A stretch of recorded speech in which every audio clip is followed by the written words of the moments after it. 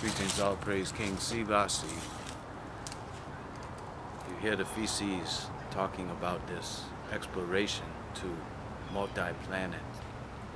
And they're saying, you know, not only are people going to vacation to Mars and the moon, yet they're going to be living there.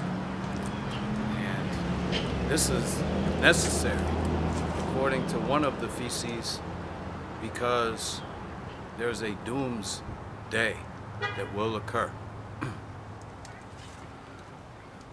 I would like to know how he has obtained this theory. Is it based on scientific evidence? Is it based on his own presumptions? People should be paying more attention to this, not just take these VCs for face value. So, what is actually happening? There's a limited supply of resources, and there's people on the earth that have too much. So, they take for granted what they have, and they desire more.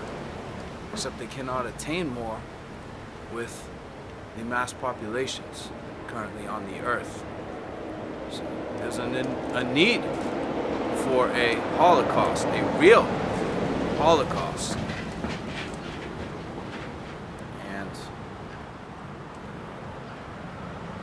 the objective is to design a lobby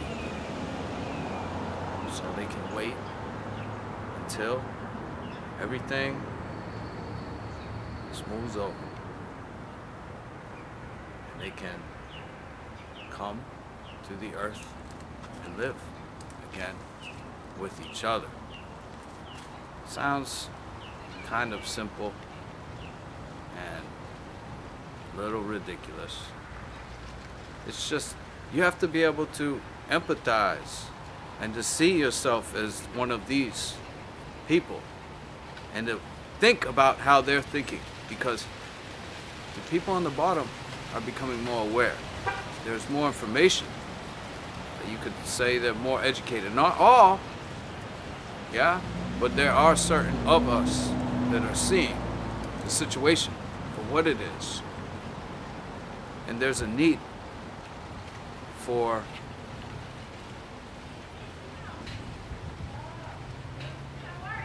you know a transitional phase to make man to machine.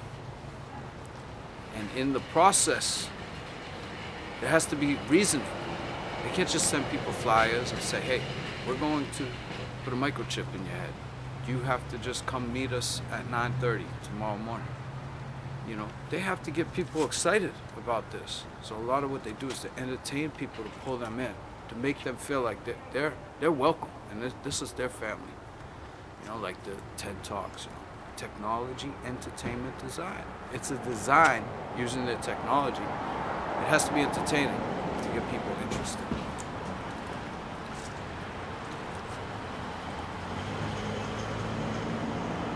And there's a need for an ultimate goal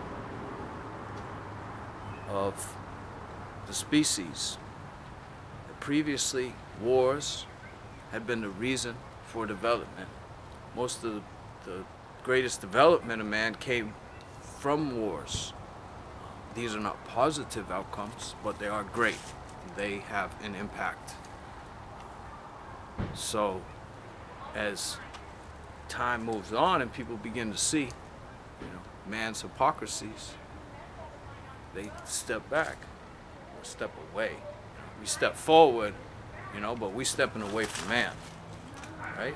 And taking a look at the situation and saying, no, no more. Are we going to be a part of this? So there's a need for people to contribute the, the, uh, the tolls or tributes, as they were called in the scripture, to Caesar. These tributes are taxes. You know, that's why you have tax collectors as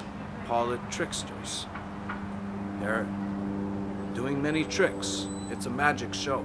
But their goal, their objective is to collect taxes. Right? Without the taxes, the dollar loses its lust. And those investors, externally, internationally, won't invest because there's no interest. So, the taxes are necessary for a functioning government functions on the behalf of the oppressive classes internationally.